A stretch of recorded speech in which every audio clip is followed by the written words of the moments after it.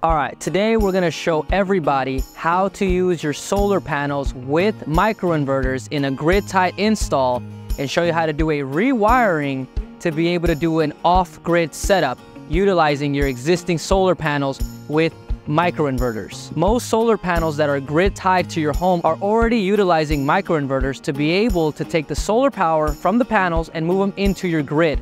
Now, because of this, you cannot do an off-grid setup.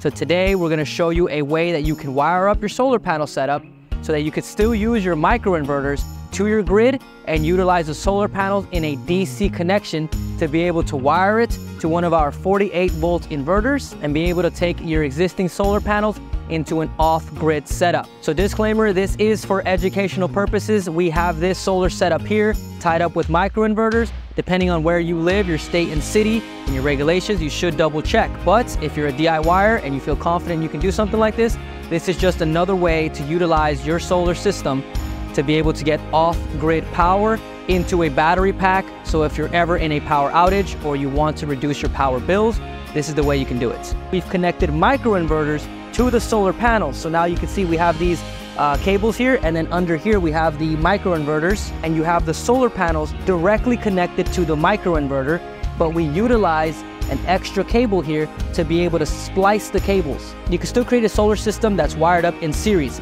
So you'll take the positive from the first panel, run it to the negative of the second panel, and then the positive from that second panel to the negative of the third panel, so on and so forth. And you create a junction at the end so that they create a in-series off-grid DC system that is wired up to one of these uh, PV cables that could connect directly to the Walrus inverter.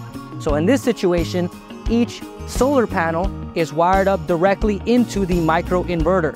So it takes the solar power and it runs it through the microinverter, turns it into AC power. We then have the microinverters uh, conjoined to each other using this cable, and you can see that it's wired up to the next sets, and the next sets, and the next sets.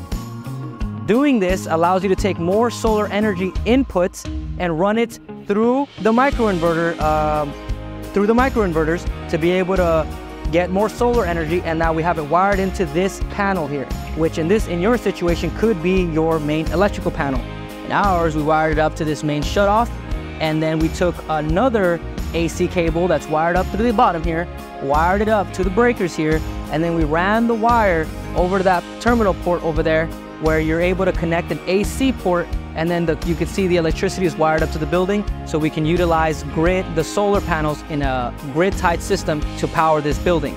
This is gonna be a similar setup to how it is in your home. In your home, you might already have the microinverters. So what you're gonna need is you're gonna need some of these cables here that are gonna allow you to splice or allow you to separate the cables so before the power goes straight into your microinverter, you will wire the power to the next solar panel running them in series. At the final point, you will connect them all together, which connects back to this. The microinverters allow you to use the solar panel in your grid tied system. Now, the extra setup is gonna allow you to use the panels in series to get this DC PV connector, which will wire up directly to your inverter. Once wired into your inverter, you're able to take the solar panels before the solar goes into the microinverters and into your grid, it'll take it through the inverter on the Walrus and then use it to be able to charge your battery packs. Now that we have the PV cable connected to the inverter, you can now see that the load is being split between the AC inputs to the grid and the DC inputs going to the inverter.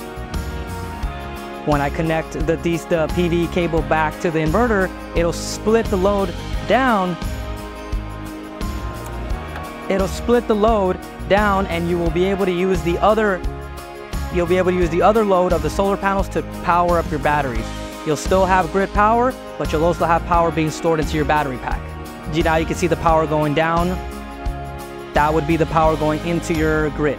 All right, thank you for watching. If you needed to learn how to do this, you could go to our website, batteryevo.com, call in, and any one of our techs will be able to help you do this kind of setup, and we'll be able to help you get a 48 volt inverter with battery backup to get a solar battery kit.